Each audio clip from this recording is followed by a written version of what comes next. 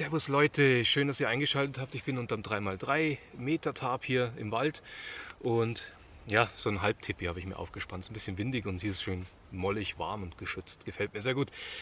Ja, aber deswegen mache ich das Video nicht, sondern ich möchte herzlichen Dank sagen. Ich habe 5000 Abonnenten, 5000 plus und freue mich tierisch, dass ihr immer noch dabei seid. Vor sechs Jahren habe ich ja angefangen oder fünf, ich weiß gar nicht auswendig.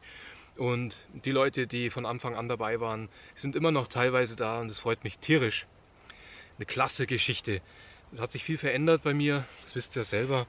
Und ja, das Ganze soll ja nicht undankbar sein. Ich verlose zwei solche Kreuze.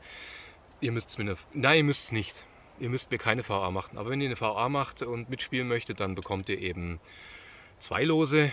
Und wenn ihr mir in die Video äh, Kommentare reinschreibt, bekommt ihr ein Los und könnt teilnehmen. Ich verlose zwei solche Kochkreuze für den Drangier, Brennpaste oder Bushbox.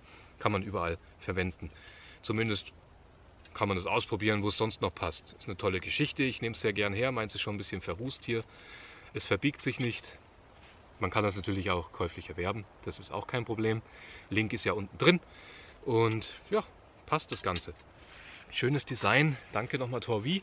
Und überhaupt, einfach ein cooles Ding. Weil ich heute sowieso mit dem Drangia koche, habe ich das dabei.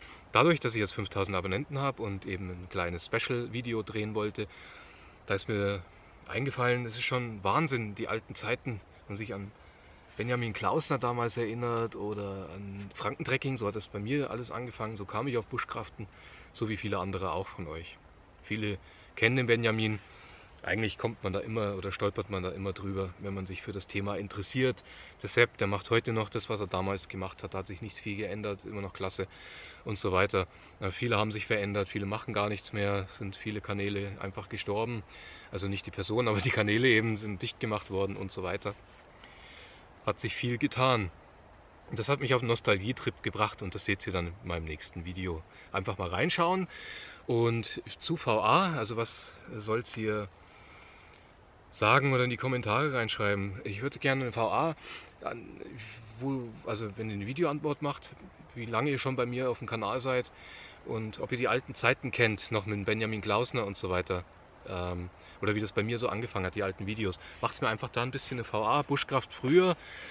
Wie war das damals so für euch selber vielleicht sogar noch? Und ja, bei mir halt auf meinem Kanal und so weiter. Also gar nicht so, nicht warum ihr meinen Kanal anschaut und so, das braucht ihr alles nicht sagen, das ist okay.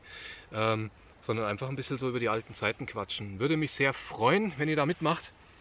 Und in so vier Wochen oder so mache ich dann die Verlosung hier auf meinem Kanal. Vielleicht interessiert es euch, vielleicht auch nicht. Ist egal, es bleibt euch überlassen. Ich freue mich auf jeden Fall tierisch über die 5000 Abonnenten und werde jetzt hier die Zeit draußen im Wald noch absitzen, gemütlich mit was Leckerem zum Essen.